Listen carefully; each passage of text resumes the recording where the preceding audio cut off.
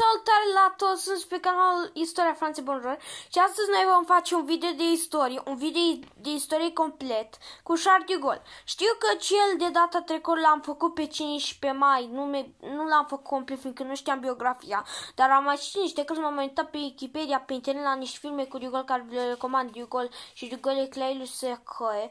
De Gaulle Leclerc lui Secăe l-a dat și pe TV Sanchimon, dacă mă nu mai dă. Vi recomand să vă uitați. Bun, astăzi eu voi face vi un videoclip mai special pentru 50 de abonați, dar mâine va apărea încă unul, unul surpriză de 50 de abonați. Și da, după cum am spus, astăzi noi vom face un videoclip de, cu Gol. Nu uitați să apăsați butonul de like și de subscribe să facem 100 de abonați, avem 50 de abonați.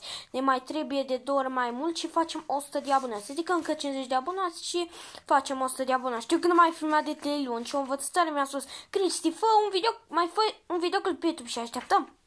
Bun, și astăzi eu fac acest videoclip. Bun, hai să mă stăm la vorbă și să începem. Bun, nu știu cât de bine să mă vedeți numai. Charles de Gaulle. Charles de Gaulle s-a născut pe data de 22 noiembrie 1890 în, în Lille, un oraș din nordul Franței, și a copilărit la Paris. Și a murit pe data de 9 noiembrie 1970 la, la Colombel du Eglis, Franța. Bun, a fost un general francez, colonel și președinte al Franței și prim-ministru înainte de a fi președinte. Bun. Începe în 1912 cariera militară, unde începe cu școala militară de la Saint-Cyr din Franța, unde, în primul, unde se duce în primul război mondial, unde are gradul de capitan. Bun. În 1916 este luat prizonier, unde a mai avut câteva rând, dar a încercat de 5 ori ori să evadeți dacă v-ați fi uitat cu card la micii mei eroi Șardigol care am făcut-o acum în iulie, anul acesta. Ați văzut că a încercat de 5 ori să evadeze. Câte știu, uh, s-a dus în coșul de rufe, dar l-a prins un german, uh, a făcut o gaură în perete, uh, că a intrat pe sub pământ și cam atâta știu. Bun, și a pățit trei înainte de a fi prizonier și în 1918, semnându-se armistițiul de la Compign, dacă vreți să fac, fac despre acest arm, dacă vreți să spun despre acest armistițiu, lăsați un like și scrieți în comentariu, vrem despre armistițiul de la Compign. Bun, așa că, că în 1918 a fost eliberat pentru terminarea războiului și semnarea armistițiului de la Compign, dar de fapt el nu l-a semnat și a stat uh, liber până când în 1921 s-a căsătorit cu Yvonne Vendruz, adică Yvonne Dugol. Lăsați comentarii și dacă vreți un videoclip cu Yvonne Dugol, adică Yvonne Vendruz, adică numele ei adevărat era Yvonne Vendruz. Dar de fapt, fiindcă pe Dugol, cum s-a spun cap familie, îl chema Dugol, Yvonne și-a pus numele de Dugol. Așa că în 1921 uh, s-a căsătorit cu Ivon Dugol și, și tot în 1921, pe 28 decembrie, se naște în casa lor primul copil Filip, după care peste 9 ani, în 1928, se naște fica lor An și Elizabeth Dugol. Dacă vreți să fac și cu ele un videoclip, lăsați tot un like. Până când Asta până 1940, până când a fost ocupația Parisului. Lăsați și voi un like dacă, și un comentariu dacă vreți să fac despre bătălia Franței și ocuparea Parisului. Bun. Când a fost Parisul ocupat de nemți, adică mama lor, um, el s-a dus în exil la Londra, dar fapt el era ministru și a dat apel din 18 iunie 1940 și a făcut un grup de rezistență fiind cu Winston Churchill și uh, a avut o prietenie strânsă cu, cu Henry Ziru, adică în orice film, nu știu așa dacă am văzut în filmul ăsta de Gol, și de Gol Eclaliu Secret, uh, Adică am uitat la unele documentare și am văzut că el a avut o întâlnire cu Ziru, dar de fapt asta a fost uh, după 2 ani. Bun.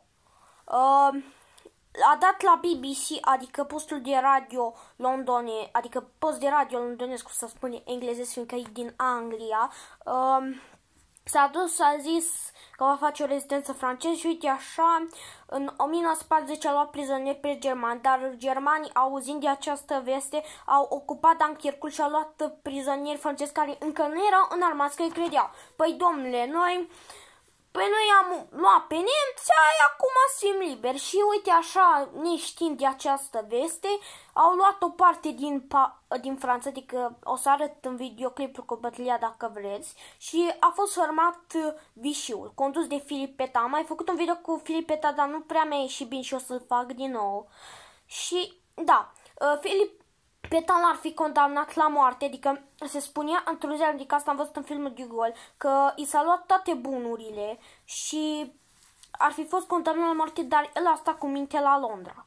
Așa că peste 2 ani, cum am spus, în 1900 42 a mers la Casa Blanca întâlnindu-se cu Roosevelt și cu Churchill și cu Henry Zero. Lăsați un like și un comentar dacă vreți acest video cu Henry Zero. Au făcut o întâlnire restrânsă despre război, cum se termine. Și uite așa, doi ani mai târziu, în 1944, a ajuns ziua cea mare, eliberarea Parisului. Se spune că este tatăl Parisului, fiind, tatăl Franței, fiindcă el ar fi eliberat Parisul cu o victorie foarte mare. Și, să spun eu, leacă. Și pe 26 august ar fi eliberat Parisul, dar Parisul era aruinat și a dat la Hotel de Ville un discurs cu Paris, Paris toujours, mă rog. Și a vorbit, dar Parisul încă era, era cu trupele FFI, adică uh, trupele franceze gauliste. Adică s-a scăpat de nemți și uite așa, el a ajuns șeful guvernului provizor până când, în 1946, știu că cu un an în urmă sau în 1946 a avut o întâlnire cu Stalin, adică s-a dus el în URSS și a văzut mai multe și în 1946, pe 20 ianuarie, uh, și-a dat demisia din... Uh, din, de a fi șeful guvernului provizor uh, și s-a retras. Și în 1956 uh, a scris cartea Memorii de război. O am și eu, dar n-am mai făcut unboxing fiindcă am fost ocupat și acum sunt în vacanță. Dar stați să văd dacă o am aici. Nu am, dar o să vi-o arăt eu într-un alt video. Uite așa, în 1958 a ajuns prim-ministrul Franței, așa cum am spus. Bă.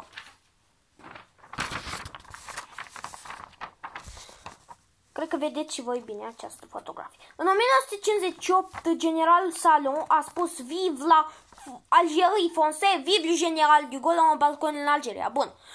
După cum știm, în 1956 Charles de Gaulle s-a apucat să scrie memorii de război, dar de fapt nu era și asta. În 1956 a început războiul din Algeria. Dacă vreți să fac și un video despre războiul din Algeria, lăsați un comentariu dacă vreți.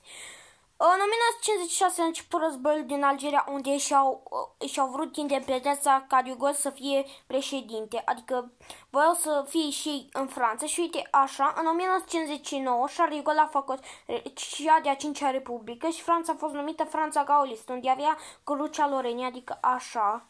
O să fac eu un video despre Franța Gaolistă și el a ajuns președinte. Așa era uniforma lui de președinte. Adică aici e în alta cruce de onoare. Aici o decorație care avea și fiul său, Filip de Gol. Lăsați un like și un comentariu dacă vreți să fac și un video cu Filip de Gol. Avea lanțul ăsta care nu știu și asta, adică era o uniformă foarte frumoasă.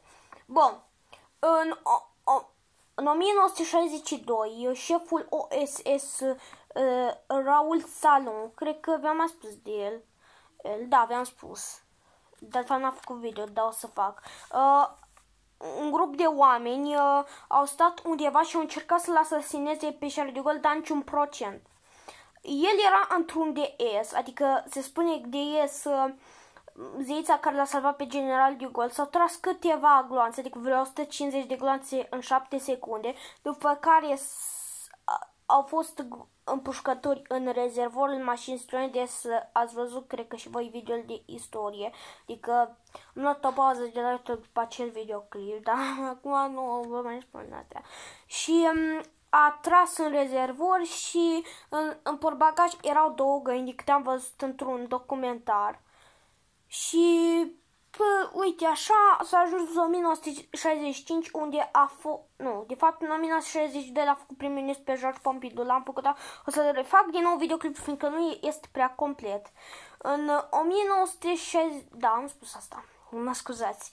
În 1965 s-a făcut turul prezidențial, adică un nou referendum, unde a fost între George Pompidou, François Mitterrand, socialist, și um, Charles de Gaulle. Charles de Gaulle a, a, a avut cele mai multe voturi până în 1969. O să vă spun imediat despre asta. Bun. În 1967-1968 pe aici izbucnește o revoluție unde vor demisia lui De Gaulle, dar n-a avut nici asta niciun procent, fiindcă De Gaulle a stat cu minte la putere până în 1969, adică era poliție și cea tot fel de tatuaj ca De Gaulle să plece la putere să plece la putere și el ar fi fugit cu un, două elico- cu un elicopter unde s-a dus la general Masu din Baden-Baden, care care asta face parte din Germania. Lăsați-mi și în coment dacă vreți să fac și eu un videoclip cu, cu General, Ma, General Masu, adică Jacques Masu, dar v-am spus mult câte videoclipuri să fac, dar o să le fac eu totuși, unde a spus ce să fac și a spus, stai la putere, mă, golașule, până când în 1969, pe 27 aprilie, și-a dat demisia, unde s-a făcut un nou referendum, unde a câștigat până la urmă George Pompidou. Bun. Pe 6 iunie 1969 s-a dus în Irlanda, unde în Diugol Eclesiu că se spunea că o parte din strămoșii mei sunt irlandezi. Și tot pe 6 iunie 1944, ne întoarcem puțin înapoi în timp, el... Um, el a spus că a fost ziua libertății, adică ziua zi, cum s-ar spune, și în 1970, pe 9 noiembrie, așa cum am spus, uh, General de Gaulle jucase solitar, adică este și acel joc pe internet. Dintr-o dată l-a luat ceva și a pus un anevrism. Poate mă întrebați ce este acel anevrism. Este când se sparge o venă la cap sau se sparge o venă. Și uite așa Cam aceasta a fost biografia cu Charles de Gaulle. Îmi place foarte mult istoria Franței, îmi place istoria acestui glorios om. Vă recomand și vouă să vă uitați la filmul, filmele de Gaulle și de Gaulle Eclair Lusecă, poate că mă v-ați uitat pe TV Sanchi Monde. Da, și cam atât cu acest video, o să revin mâine pentru 50 de abonați. Aceasta este special pentru 50 de abonați. O să vin cu un videoclip surpriz, unde o să fac și biografia și o să revin cu celelalte videoclipuri care le-am cerut. O să fac și cu petan și mai multe. O să vedeți voi.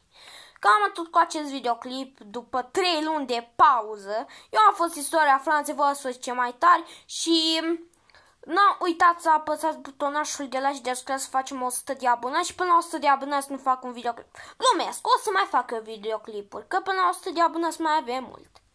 Cam atât cu acest video, am fost istoria Franței, voi ați fost cei mai tari și noi ne vom vedea în video următor. Pa, pa! Like și subscribe! Pa!